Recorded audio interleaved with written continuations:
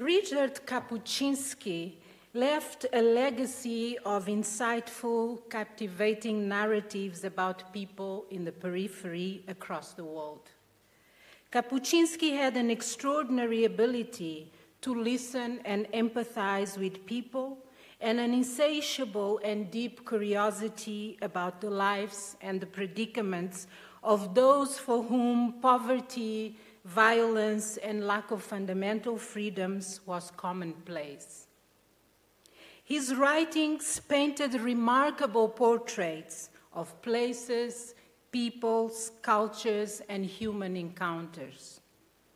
While he has been criticized for making some implausible generalizations about Africa and Africans, there is no doubt that Kapuscinski trailed unbeaten paths to report on coups, revolutions, disasters, and other challenging world events, including the wars in Angola and in my own country, Mozambique.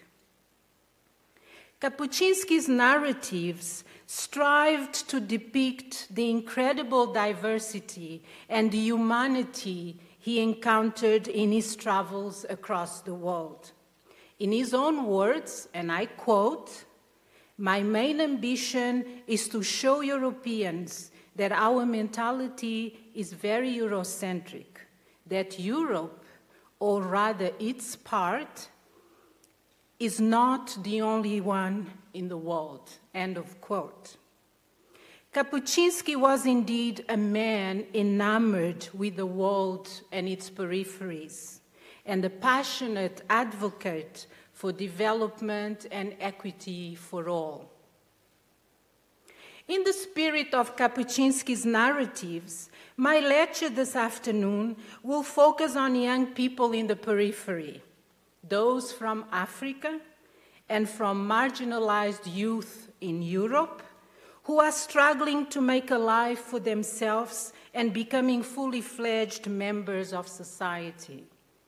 These young people see themselves as the disadvantaged, the excluded, and the destitute in their own societies and in the world. The world has never been so young, with about 1.8 billion between the ages of 10 and 24. Most of them live in the developing countries. But young people's transitions to adult life have become increasingly uncertain. In Africa, but also in Europe and other parts of the globe, a growing number of young women and young men, both educated and non educated, find themselves unemployed or underemployed, and they must improvise livelihoods outside of dominant economic and social frameworks.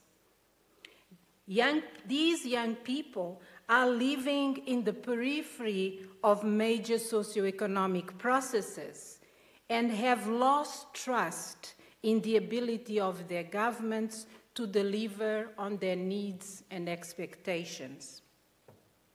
So, in this lecture, I will develop three main arguments. First, that the vast majority of young people in Africa are living in what I refer to as waithood, a prolonged, difficult, but also dynamic transition into adult life. Waithood is also this liminal space in which young people are neither dependent children nor autonomous adults. But waithood isn't just an African experience. Young people in Europe also grapple with protracted transitions to adulthood, including joblessness and political exclusion. I will discuss waithood and the ways in which it is manifested both in Africa and in Europe.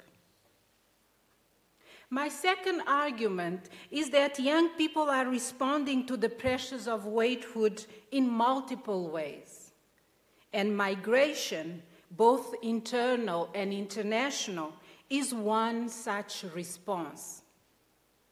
Young people migrate in search of better opportunities and better futures. Central here is that young people lack basic opportunities to make it at home an availability of jobs and sustainable livelihoods, as well as the absence of political and social freedoms. The realities of their daily lives expose the gap between the promise of fairness, individual freedom, and prosperity and their existence of marginalization and lack of opportunities.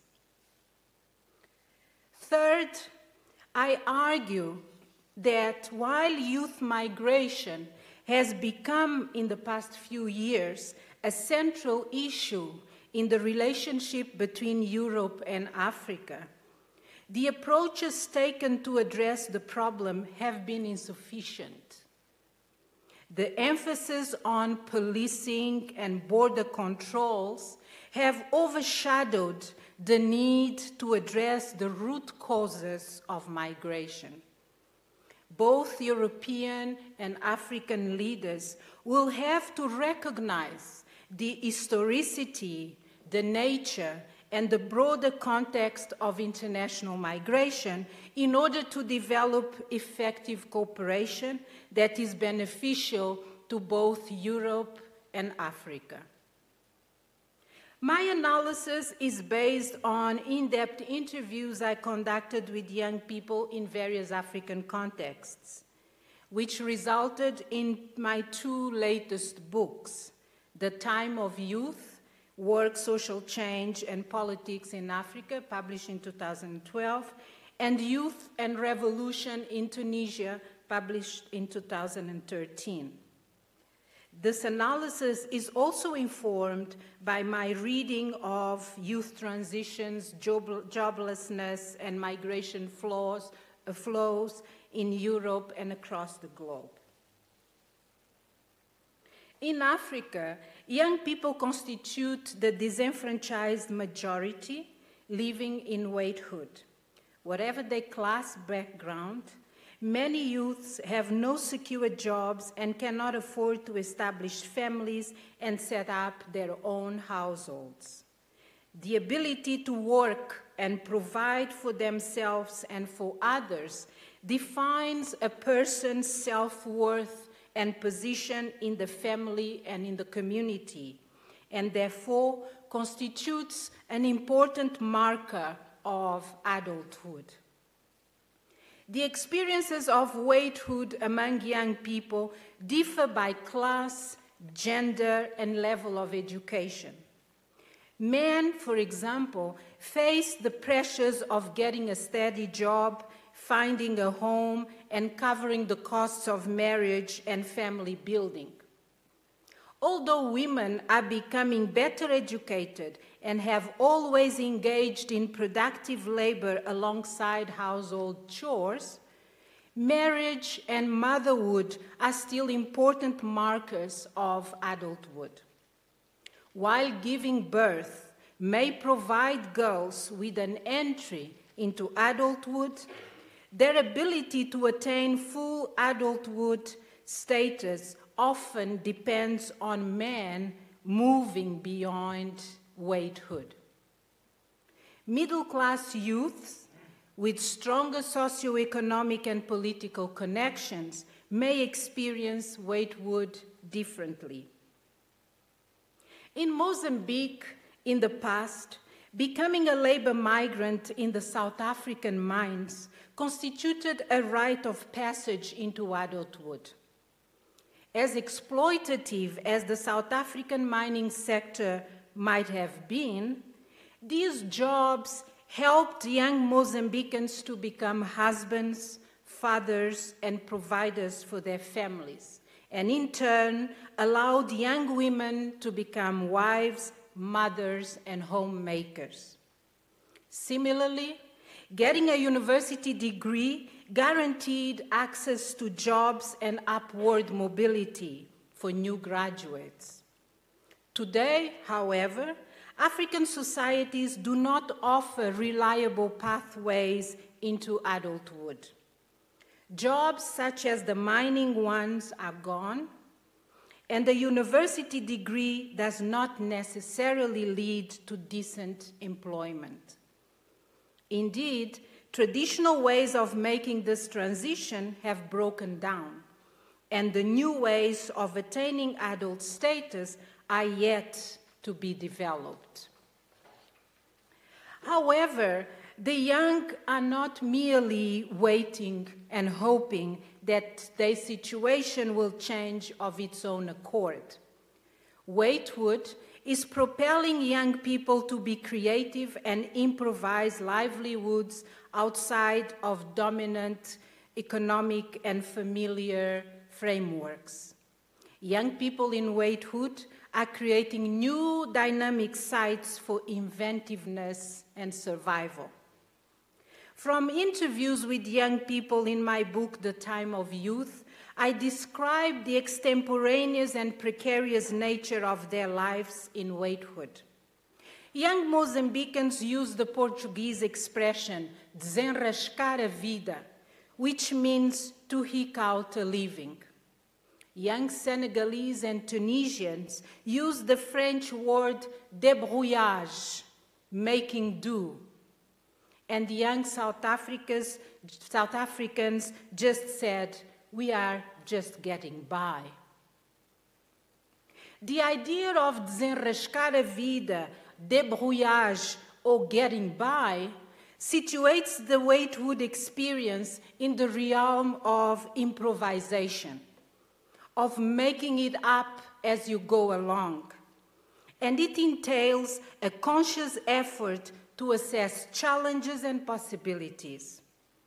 Young Africans discover and invent new ways of existing in the margins of society. This is the experience of many young women and men who engage in street vending, cross border trading, and smuggling. Those who migrate illegally to South Africa, to Kenya, or to Europe and America and those who end up in criminal networks as swindlers, traffickers, and gangsters. Young women and men often see little option but to also use their sexuality as means of gaining a livelihood. They engage in intimate and often exploitative relationships with wealthy and powerful men and women commonly known as sugar daddies and sugar mamas, for money, gifts, and access to fashionable goods. Some young people become successful entrepreneurs. Depending on their gender, they have taken up activities such as repairing electronic devices, making and marketing clothing and jewelry, and doing hair and nails. Others are creating new artistic, musical, and performance forms, making graffiti, painting murals, writing blogs, and becoming savvy internet users. Unemployed and underemployed graduates are taking up jobs usually performed by less educated youth. Meagher's work shows that the shrinking formal economy in northern Nigeria, for example, is driving more educated people into the informal market. That, in turn, pushes out the less educated and leaves them more vulnerable for recruitment by Boko Haram or other violent groups and networks.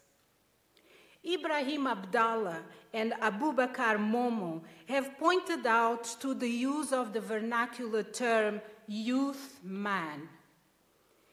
In many West African countries, which describes the large and increasing number of unemployed 35 year olds and older who are struggling to attain social adulthood.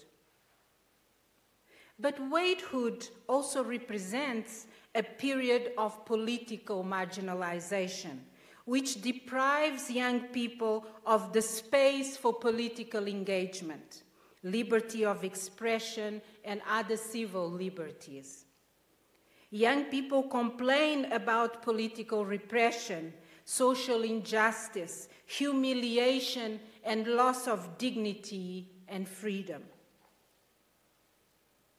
The concept of waithood can also be applied in the Western context, where in the past decades, young people have increasingly struggled with their transition into adult life.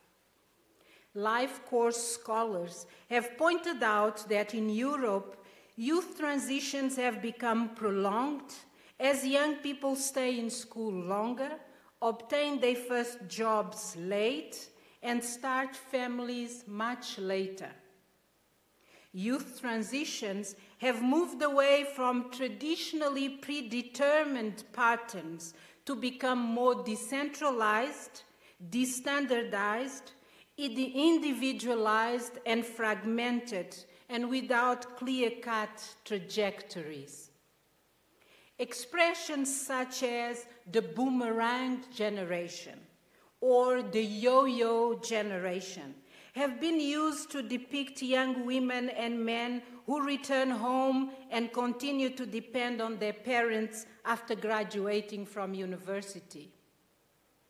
In Italy, for example, bamboccioni or big dummy boys is an expression that mocks the growing number of unmarried young men in their mid 20s or 30s who are still living with their parents.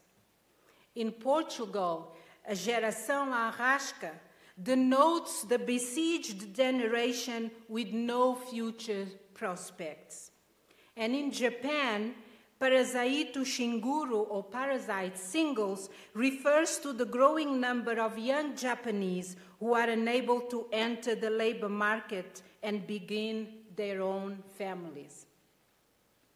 In the past, youth transitions have been seen as a move from dependency to autonomy.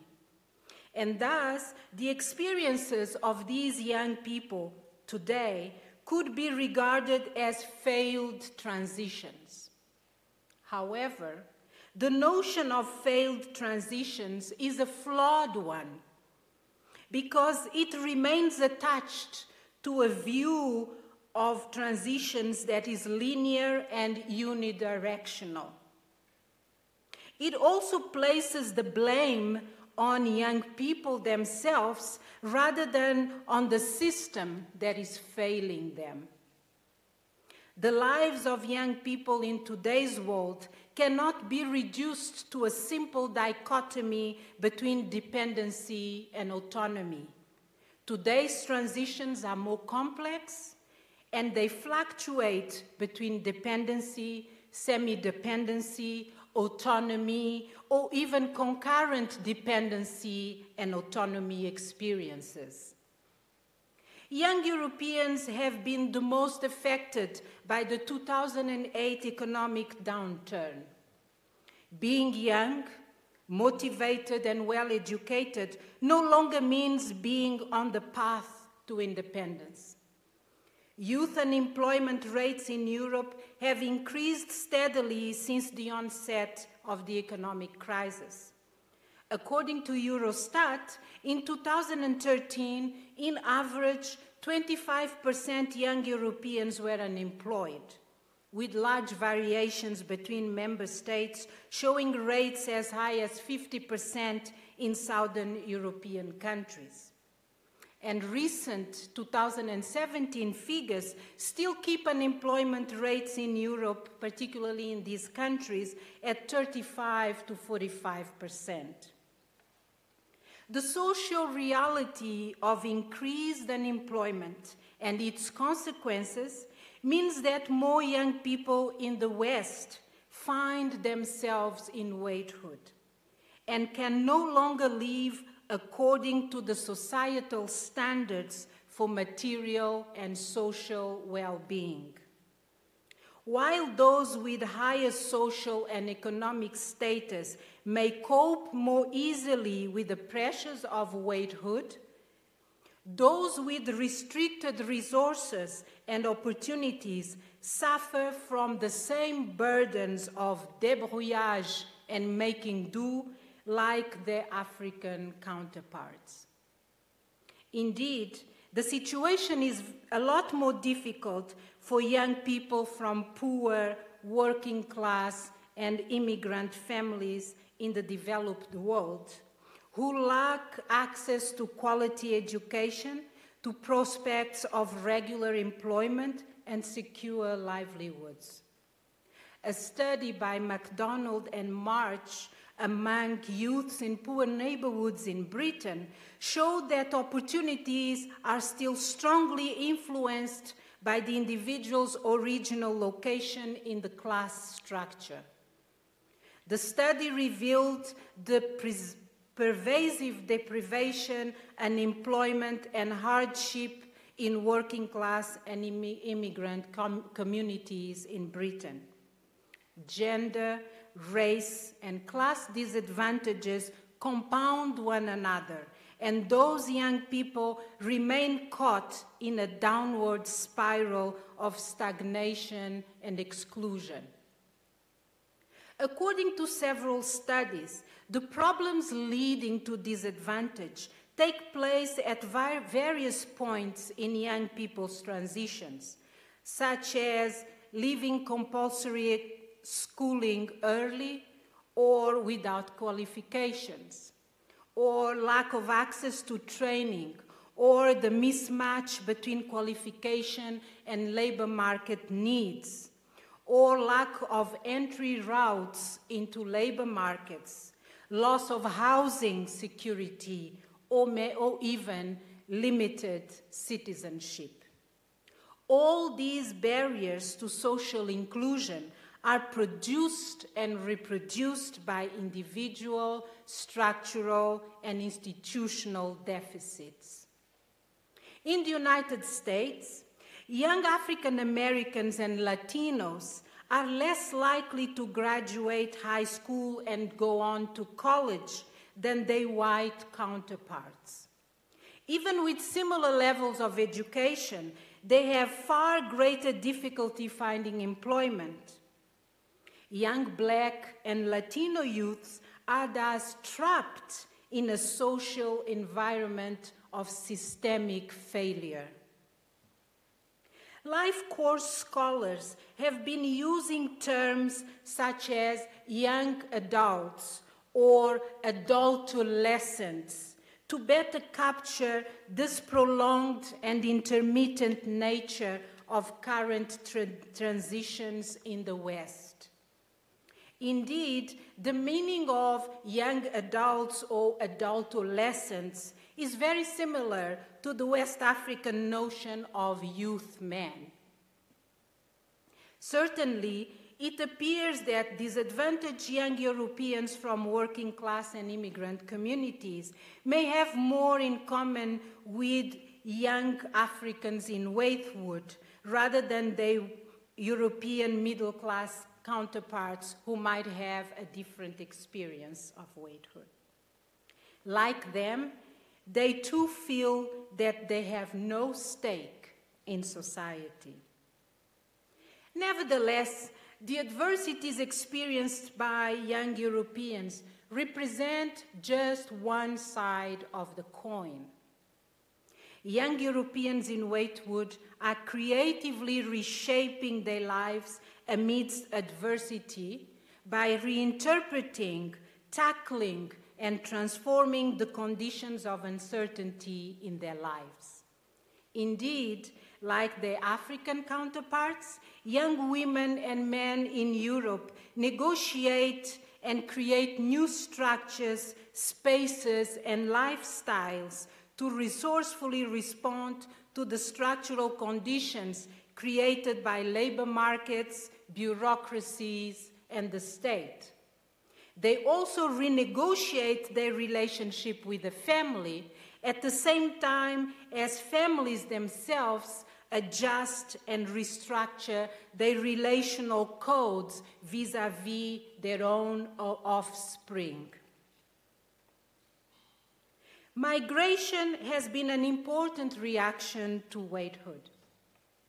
For many young people, migration is not only a coping mechanism to escape poverty, joblessness, and lack of freedoms, but it's rather an opportunity to gain a sense of pride, of dignity and self worth, and to be viewed as accomplished individuals by their families and communities. Young people perceive migration to be a pathway to improve their status and to gain upward economic and social mobility. Young Africans in Waithood with no prospects of a decent future often leave their rural villages in search of opportunities in the cities. The story of Sangare, a young man from a rural village in southern Mali, who decides to leave his impoverished village to try and find stable employment in Bamako, illustrates this predicament.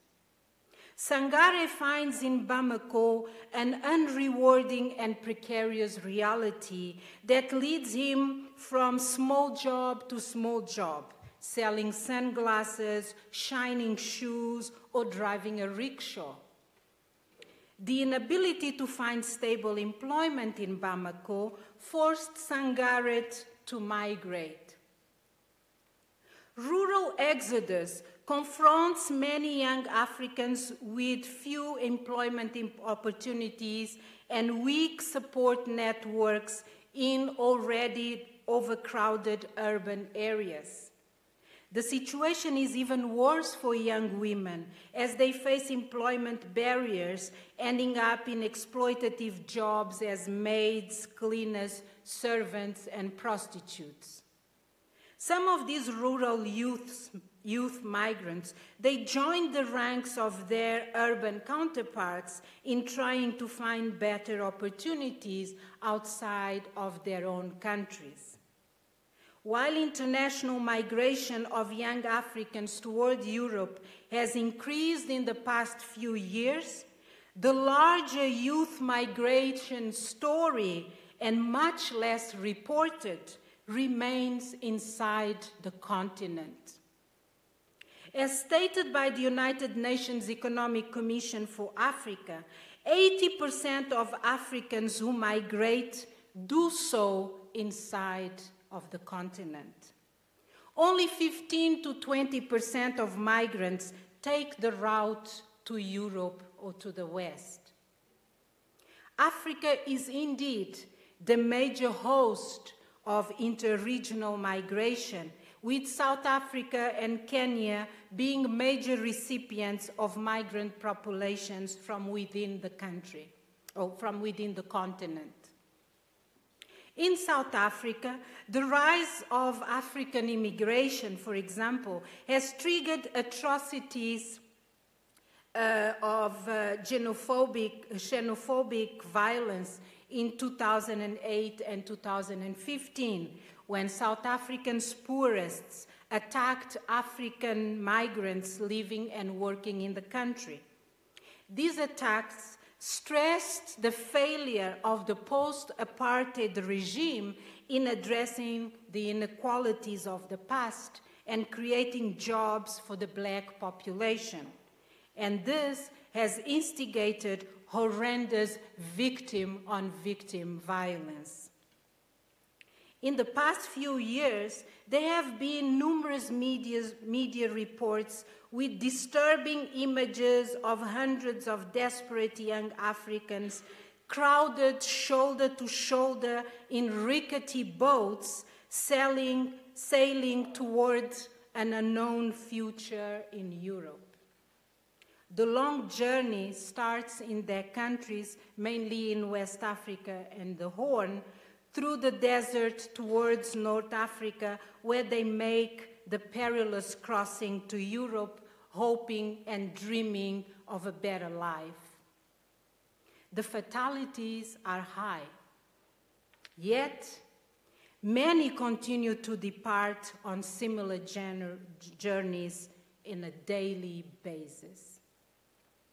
These young migrants pay large sums of money and travel for days under harsh weather conditions, suffering abuse from smugglers and criminal networks. A good number get stranded in transit countries, and there have been recent reports that reveal gross human rights violations of African uh, migrants transiting through countries like Libya. And many of them are tortured, raped, and enslaved by human traffickers and criminal syndicates. Those who survive the crossing to Europe are placed in overcrowded intake shelters. In September 2016, Europe started the hotspot system at key points of arrival in Italy and Greece, a strategy aimed at employing more efficient screening to distinguish migrants between asylum seekers and economic migrants. However, the, the, distinction between economic migrant and asylum seeker is challenging and not always clear cut. Economic migrant is not a legal category, but an umbrella term to refer to people that move from one country to another to advance their economic and professional prospects. And asylum seekers, on the other hand, refers to those who are considered eligible to apply for asylum or who have already applied and are awaiting a decision. While some have called the distinction necessary at times of unprecedented human movement, Others have considered it a violation of human rights and the dehumanization of one group in favor of the other. Under the 1951 Geneva Conventions relating to the status of refugees, while not all immigrants might be eligible for asylum, all migrants have the right to apply to asylum and have their asylum claim reviewed. This is a basic human right.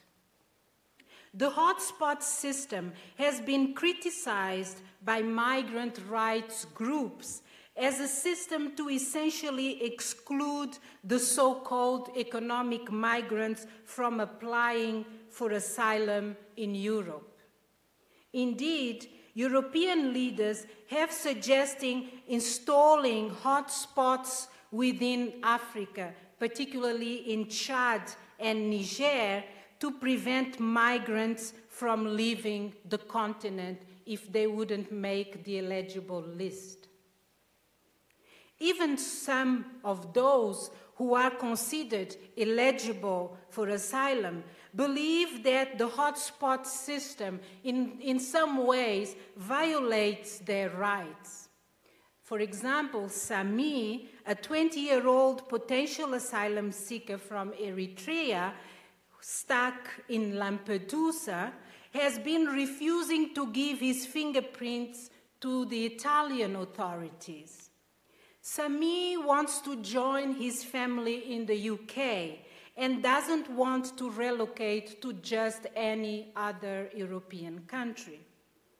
According to the EU's Dublin regulation, the country that takes the seeker's fingerprints is responsible for processing their asylum claim, preventing them from claiming asylum in the country of their choice.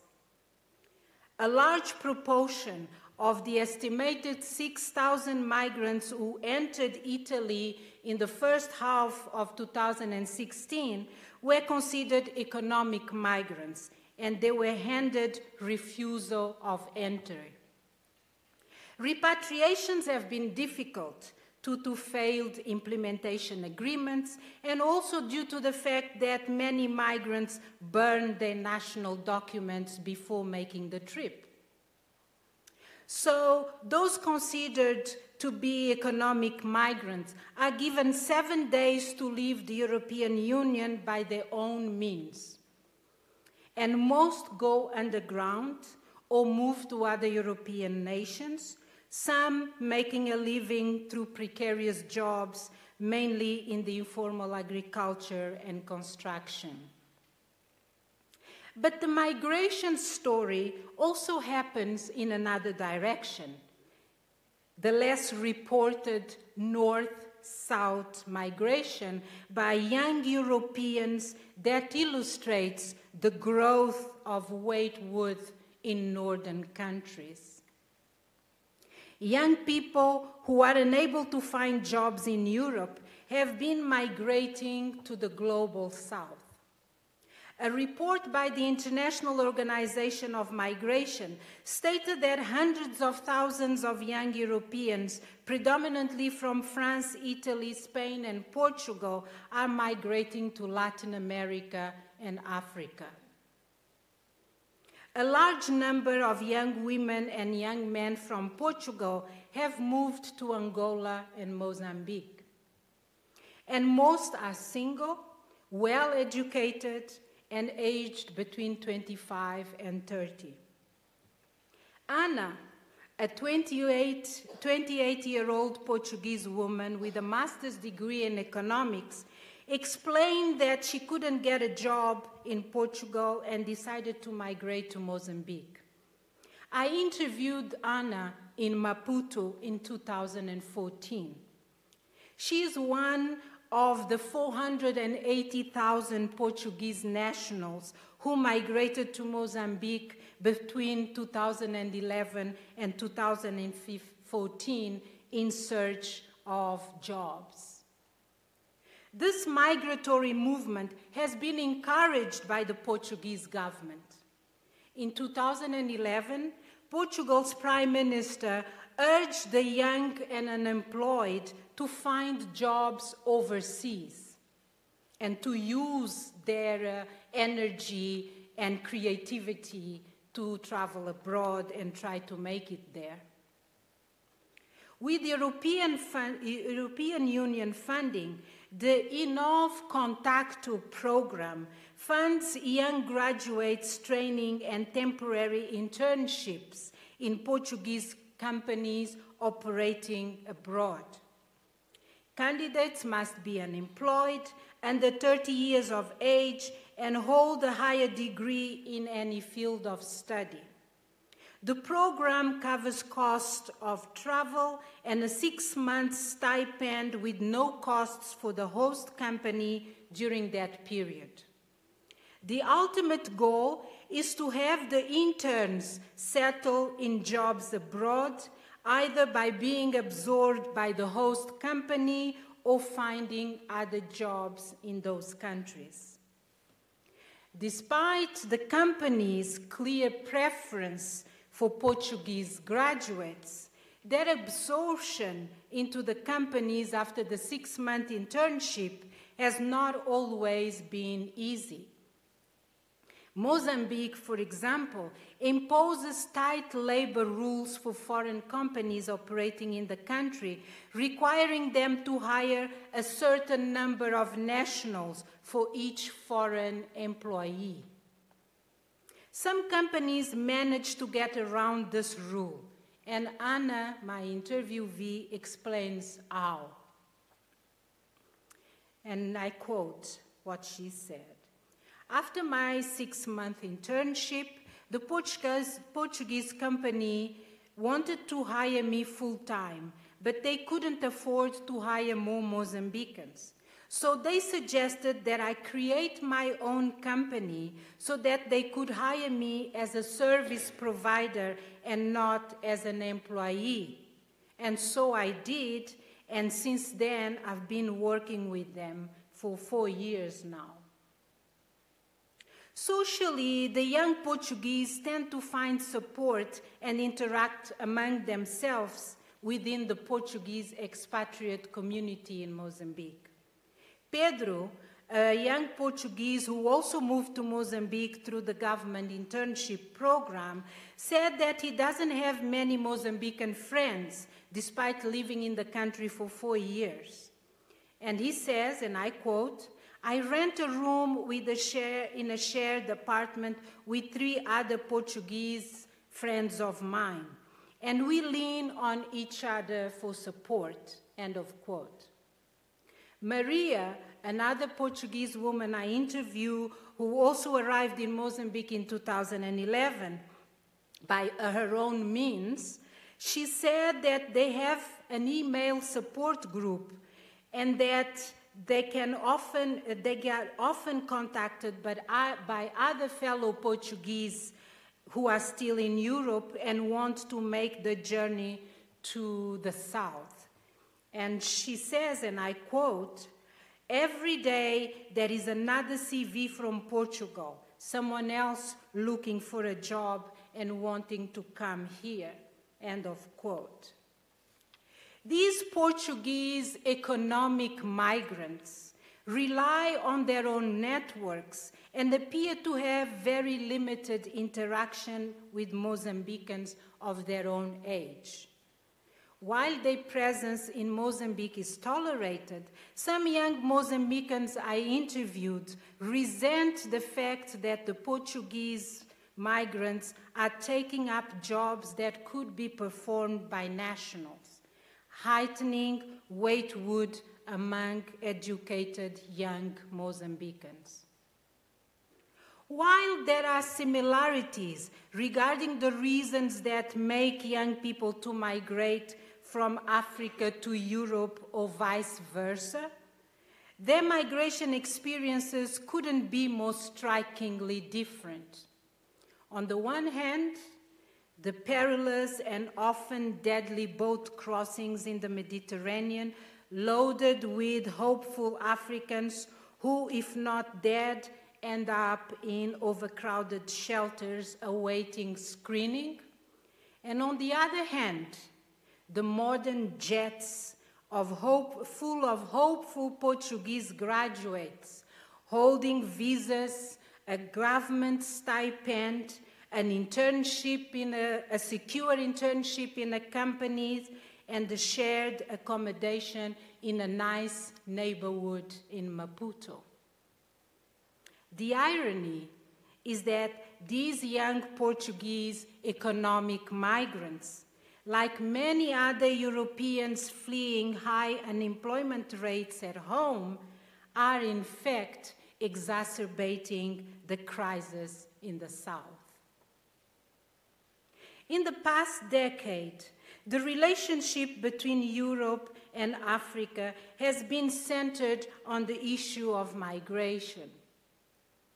The policy agendas that guided Europe Africa summits since the 2015 in Valletta focused on how to curb irregular migration.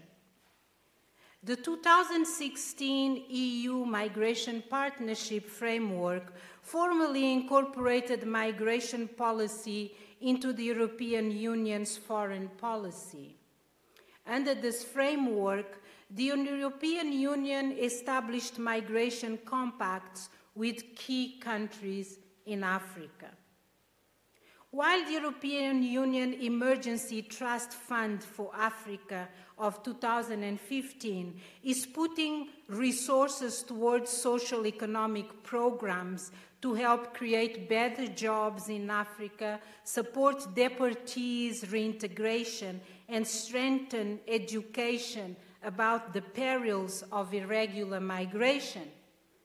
The bulk of European resources have been channeled to security programs aimed at improving border controls and boosting police crackdowns on migrants as well as on human smuggling and trafficking networks.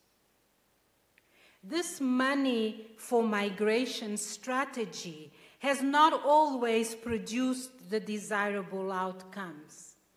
The government of Mali, for example, ended up withdrawing from a deal to receive 145 million euros for accepting repatriations of Malians uh, that were illegal in Europe and to strengthen border security. And this was due to a public outcry in the country and the motion of censure that came from the Malian parliament against this policy.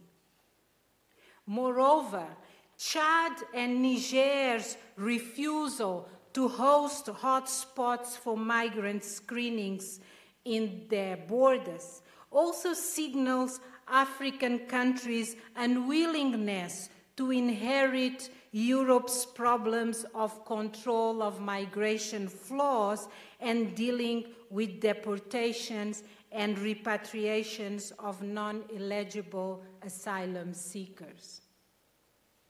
In 2017, Europe and African summit that the Europe and African summit that took place in Abidjan proposed to reset the button as both Europe and Africa realize the need for a fresh start. Tackling symptoms of migration was not enough, as the problem must be addressed at its roots. That is why the Abidjan summit focused on investing in youth for a sustainable future rather ju than just irregular migration. The European Fund for Sustainable Development, the centerpiece of the EU new external investment plan, has been set up to develop policies and programs more conducive to sustainable African development. Analysts suggest that this is the best way forward in tackling such a complex issue. The problem is certainly much larger than migration per se and needs to be addressed within the broader framework of economic growth and sustainable development and social inclusion, social justice, and political freedoms. Most of the young Africans I interviewed during my research appear to have lost faith in the ability of their leaders to respond to their needs and aspirations. They also understand that their waithood situation results from domestic corruption and poor governance, coupled with a global system that makes inequality and social injustice possible at home. Young Africans are becoming increasingly aware of the alignment between local and global forces and the limited capacity of African states to uphold the social contract with their citizenry. So, when young people knock at the doors of Europe, they are really saying to European leaders, and I quote what a few young men and women have told me we are your problem too. European and African governments need to be cognizant of the historicity, the nature, and the broader context of international migration in order to develop effective cooperation. Migration is beneficial to both an aging Europe and a rapidly developing Africa.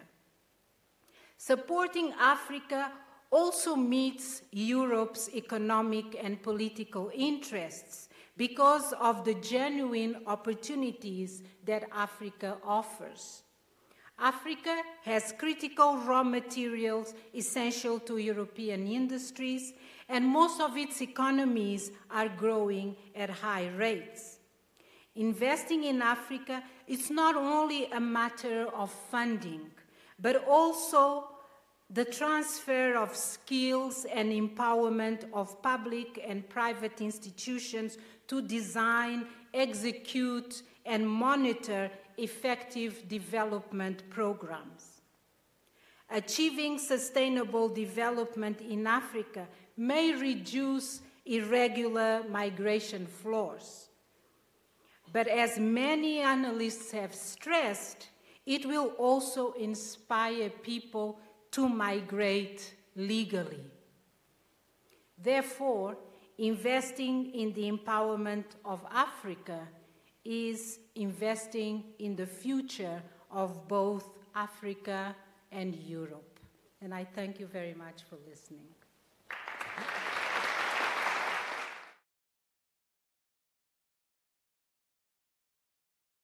You are here speaking to a room which I would say is 90% filled with um, shall I call you, young adults or bamboccioni or young people who are maybe um, in waiting or in waithood, who knows. And my question then to you is, especially because um, you focused in your lecture on a lot of the um, negative consequences of waithood, but I know that in your books and in your analysis and in your uh, interviews that you did with young people, you also uh, very much highlighted the strategies and the alternative spaces that they were able to create. So, what advice or what message can you give to young people um, who are sitting here and listening to you speak?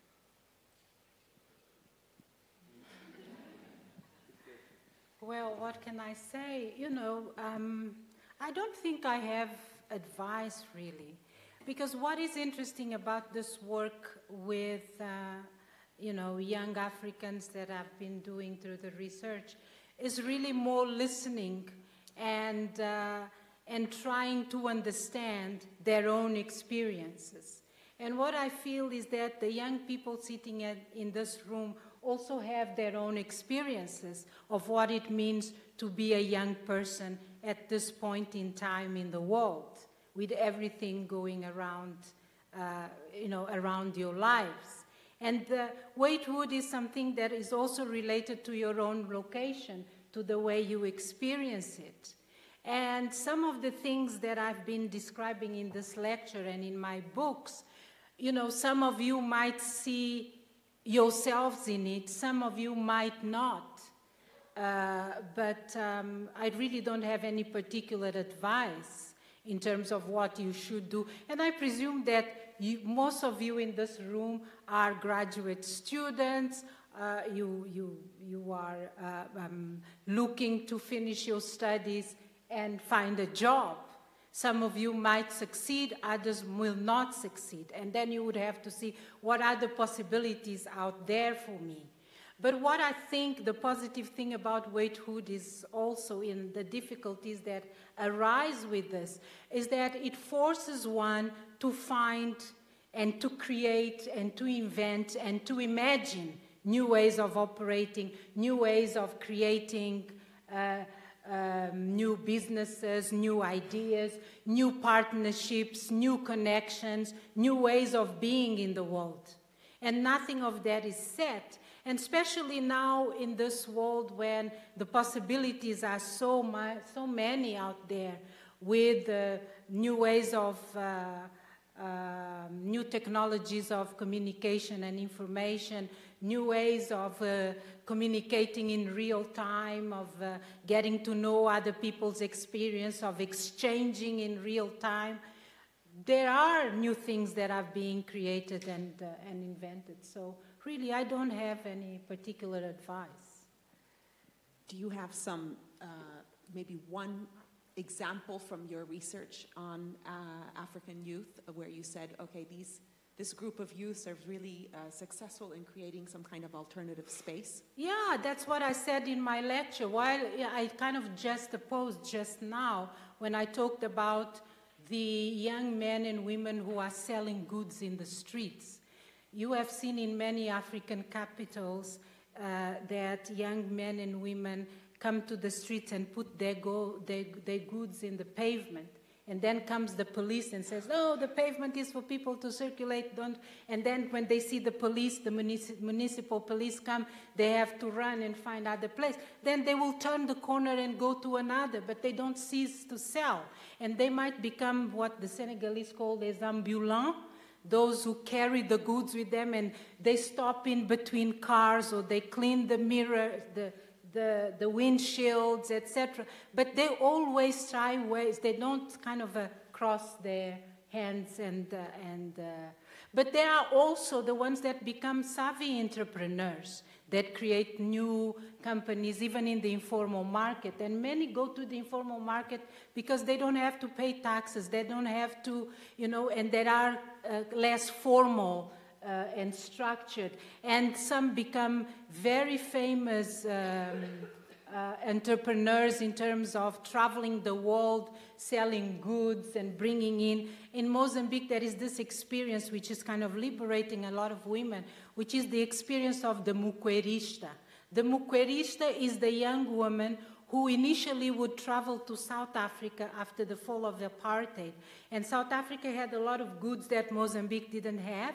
And these young women would bribe the the, the border officers to bring in goods without paying uh, um, the duty fees, and they would resell those goods. But more recently, when I was doing research in 2014, these young women they're no longer going to South Africa. Now they became good, uh, big entrepreneurs. Some of them are going to China, to Guangzhou and Shanghai, to Thailand and bringing those goods, and they opened salons. They were, and I was interviewed a few young women, 15, 17, and I said, What do you want to be when you grow up? I want to be a mukherista, because a mukherista is really making it. So there are these uh, new ways, and there are others that are becoming savvy internet users because they want to connect to each other, even though they don't have a computer at home, but in the internet cafe, they're there and they know, become hackers, become, you know, they are, and others repairing electronic devices. And young people have a way with technology, especially the internet, etc. And in Africa, everybody says, "Oh, ask a young person; he will tell you how to how to fix your phone or how to send a message this way or another way." And there are also platforms like the Ushahidi platform in Kenya, that it's a group of young people who were educated, but they didn't have uh, access, uh, access to, to uh, solid employment. And so they got together and they created these platforms that have excelled. And there are examples in Nigeria of very successful entrepreneurs that were born out of necessity because there were not jobs available to them. So, in a way, I don't want to give the impression that it's all doom and gloom, but it's also a period of opportunities, of being creative, of trying to uh, create new boundaries, force boundaries, push the envelope in some way. Thank you. So let me uh, open the to the floor if there are any questions, and maybe we can collect a few. There's one back there. Hi, thank you very much for the interesting lecture. Um, you've talked a lot about um, the nature of work and its role that it plays in fulfillment of adulthood. I'm still not super sure I'm an adult personally, but let's discuss that later. But you've also talked about the role that social protection about? and citizenship might play. Can you hear me at all? Or uh, they might play in this? Which is more important? We, we, we know that Bill Gates today made comments that uh, AI will inevitably replace the way that we work. Um, and we know that social protection is failing to keep up with the commands of the modern world. My colleague and I have just spent six weeks in a refugee camp in Kenya uh, looking at this very problem. We are completely failing in our attempt on humanitarian level social protection to deliver anything further than basic rights, what might be described as enabling the capability approach to half a million people in just one country. So, in your analysis and prognosis for the future, which comes first, chicken or egg? Do we focus on how we catch up our economies and the way they engage with young people and thinking of problems like universal basic income to replace mass lost labor? Or do we focus first on reinventing social protection over enormous distances, and particularly in the African context with um, fairly mixed signals coming from the African Union on the role of uh, rights-based social protection across the continent in other than very few specific examples, uh, Monist South Africa, for example. So where do we start? So I didn't get, uh, I, I don't know if I got it right. So it's whether we start with uh, social protection or is that citizenship you mentioned?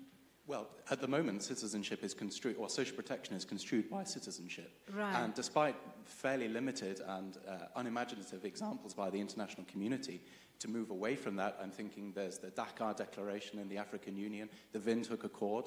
These are particularly, uh, as we're discussing Africa, African contextual issues of Right. transnational issues of social protection. But largely, when we look at the global picture, as soon as you cross that border, many of the, the, the citizenship based rights dissolve away. And therefore, can we, or is it possible to, change the nature, what you've discussed, to, to bring these protections without Right. completely and radically reimagining what citizenship and social protection mean together? And in that context, what does this mean for the mass uh, uh, loss of labor through uh, AI, through automation? Are these things um, se- separable, um, and where do we begin? Um, you've set us quite a challenge. Well, you know, I, I, I don't know, um, but my view would be that the, they both necessary uh, in terms of, you know, because social protection, in a way, that's what I was talking about when I was talking about the, the, the upholding of the social contract between the state of, and citizen. And you need to get to a certain level of, of, uh, of uh, development uh, in order to be able to afford people those kinds of protections. Um, but um, I, I don't think it's either one or the other. I don't know if that responds to your question, but I, I, I don't know. I, I didn't think enough about that, and I, I, that's all I could say at the moment, yeah.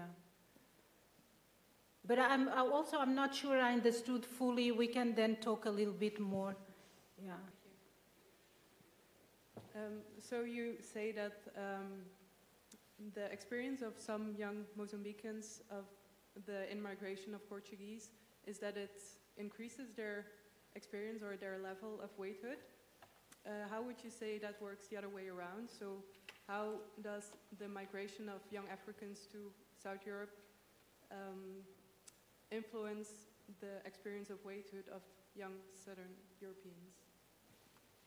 I, I would just like if you could um, say a bit more about the Portuguese going to, to Mozambique, and you said something about the, the local nationals feeling crowded out by these um, economic migrants.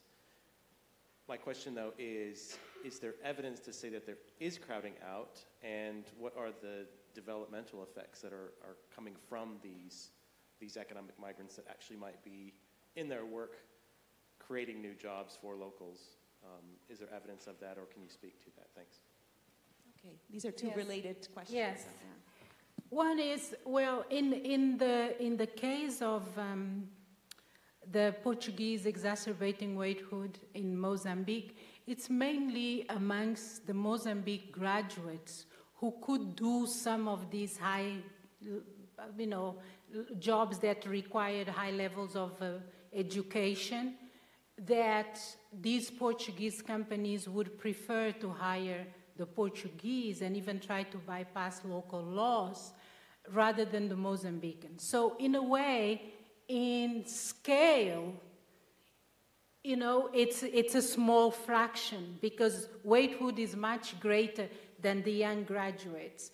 But it's a reaction of the graduates in relation to that because if those Portuguese were not going there in such a high numbers, they would have at least to hire local Mozambicans. And the Portuguese come with incentives and protections that make the companies to prefer them because first they get them for free for six months. So they have a chance to test them and do a kind of free test run. And, um, and on the other hand, uh, they don't have to follow all the rules uh, in terms of having to hire the number of Mozambicans, because then they hire the Portuguese as private companies rather than employees. And there are things about uh, uh, all the all the financial um, fees or whatever that companies in terms of capital have to deal in the countries that it's easier if they're just foreigners. But how, on the other hand, uh, of the other way around, the um, Africans coming to Europe might be exacerbating waithood in Europe. I think it's slightly different because, in a sense, I don't think that waithood in Europe is at the level of non educated, the kind of massive migrants that you receive, the ones that end up in Lampedusa or anywhere else. But there are also the migration of Africans into Europe that are taking high level jobs. And probably I am an example of that. I'm a young, I, I was a young African educated in Africa and in Europe that I stayed in the West and I'm working here. But it's a much restricted uh, uh, group. The bulk of those who come, I don't think they threaten the type of waithood experience that you're having here. I think the problem of migration in Europe is not about the waithood of young Europeans, but broader issues about uh, uh, how society copes with uh, migrant populations, whether they're here temporarily, they're here to stay, and what kinds of new adjustments to uh, society and the economy already have to. But I don't think it's a kind of a direct track to youth to youth. At least uh, I, I, I don't see it that way. But having said that, I haven't done specific research on looking at European waithood in that sense to be able to give you a kind of conclusive answer. It's just uh, what uh, I kind of think about uh, right now. Um, your other question was about whether the, the Portuguese migrants in Mozambique in the long run are creating more opportunities for young Mozambicans. just what are the economic development effects from having Portuguese investment and highly skilled Portuguese? Yeah, I understand the crowding out of graduates, but is there evidence to suggest that it's, because on the one hand,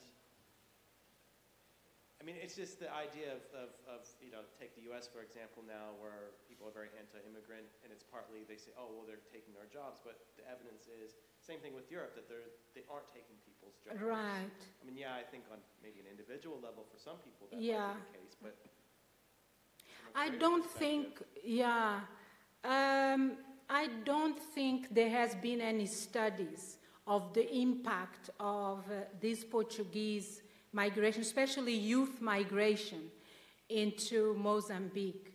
Maybe some kind of more economic analysis in terms of uh, financial investments of Portuguese companies in the banking industry and um, uh, kind of larger companies, but kind of a small entrepreneurship by individual um, uh, groups. I don't think there is any known analysis of what the impact is.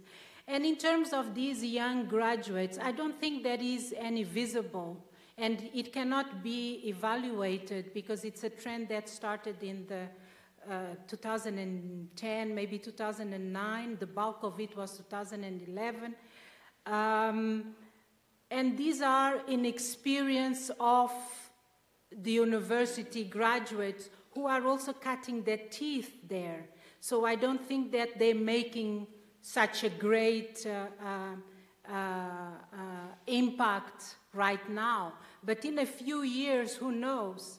But also, it has to be said that um, with some kind of political instability, um, that trend reduced because there were some tensions between uh, the government and the opposition.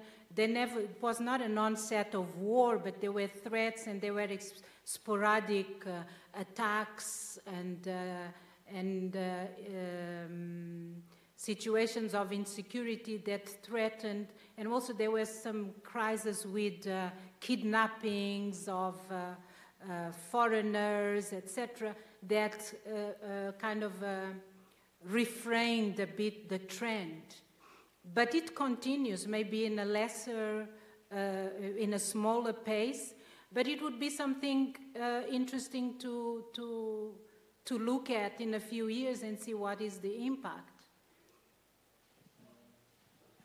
Yeah, uh, I would like to know what do you think about the role um, South-South cooperation can play in this, uh, yeah, these problems that not um, not only within the African continent, but between countries that uh, in America or, I mean, the American continent and uh, Asia as well, for example, to deal with waithood.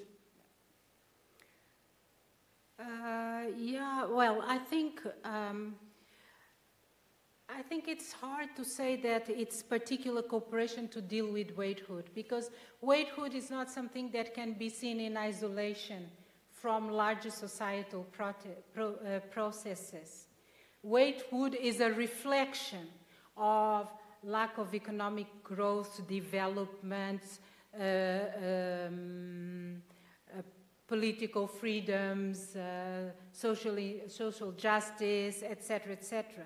So when people feel uh, marginalized, because waithood is not just about having a job, but a sense of fulfillment that you get where you are uh, uh, in terms of uh, the space you have to do things and the availability of resources, both material, social, cultural, etc., for you to, to do things. So I think South-South cooperation that would enhance sustainable development, more democratic uh, uh practices, uh, fair trade, better exchanges, etc., will be conducive to creating better jobs for the younger generation, would be conducive to create space for uh, uh, divergent views, opinions, and uh, possibilities of engagement uh, with the state, for reinforcing the social contract between state and citizens, etc. But I think, yes, South-South cooperation would be. And I know uh, there is also the other uh, areas of uh, partnership that African countries have been developed, not just with Europe, but there are relationships with China, relationships with America, etc. And I think this all helps. I think it boils down to a broader uh, systemic uh, uh, change within what's going on in the continent. Because I think, in a way, waithood is a symptom of something broader that it's not aligned and working well.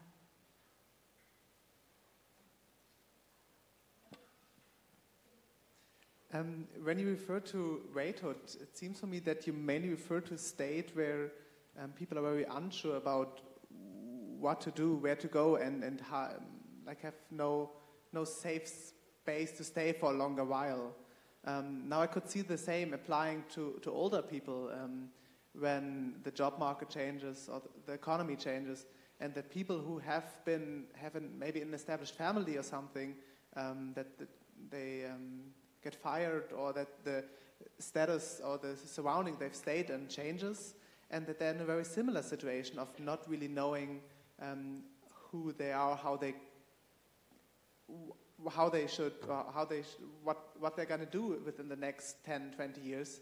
Um, do you have experience or comparisons between those young people in this waithood and maybe older people being in a very similar state? Um, yeah, thank you. Um, my question is not so much related to waithood itself, but to another um, um issue or topic you touched upon. Um, you you described the innovation and the, the improvised survivalist strategies a lot of people pursue and the precarious um, forms of, yeah, of work where street vendors um, make a living, etc. Um, and yeah, in a way you saw it and you consider the positive thing, the, the immense of the amount of innovation and the positive um, yeah, energy, let's say, that comes out of it. On the other hand, um, you were also in favor of, uh, or you um, advertise, let's say, increasing investment from, for example, the European Union or from Europe into um, African countries and communities. Um, but I think from what we've learned in the past is that investment always required um, increasing regulation and uh, preconditions um, more legal stability, etc. And uh, to me, it seems that those two things don't really go well together. So often it happened that um, those innovative and improvised forms of livelihoods were pushed out with the increasing demand of stability and regulation, which was demanded by investment, especially from, uh, for example, Western countries or like the global North countries to the global South. So, do you think um, the preconditions and the requirements um, investors from developed countries have should change so that uh, we can basically benefit from both, from the innovation, but also from the, the capital we have in the north? Or will it indeed be an inevitable outcome in the long run that once we have developed economies in Africa, that those um, livelihood forms or those survivalist strategies and uh, improvised livelihoods will just disappear? Thank, Thank you. you. Thank you. I'll start with the last, which is fresh in my head. Um, I don't think it's an either or, because if you look at societies in the West, you have both regulation and you have both innovation. And uh, you can combine the two. The fact that there is that space, it's a space to be cherished and encourage people to continue to use that space. But I don't think that space alone is sufficient to take Africa out of where it is.